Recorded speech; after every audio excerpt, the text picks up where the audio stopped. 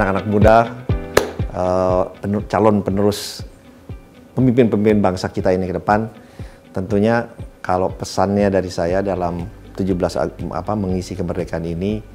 adalah bagaimana kita bisa selalu berpikir secara baik, secara bebas, secara bermanfaat, tidak hanya untuk diri kita sendiri, karena kalau anak muda ini cenderung untuk diri kita sendiri dulu, tapi juga untuk kepentingan yang lebih besar adalah tidak usah jauh-jauh untuk kepentingan di lingkungan kita sendiri dulu. Saya hanya sering bilang bagaimana kita paling tidak bisa membuat senyum orang manusia di sekeliling kita itu adalah suatu anugerah yang bisa dilaksanakan oleh anak-anak muda. Tetapi sebagai anak muda kita harus selalu semangat, pantang menyerah, dan selalu optimis dalam menjalankan kehidupan ini ke depannya.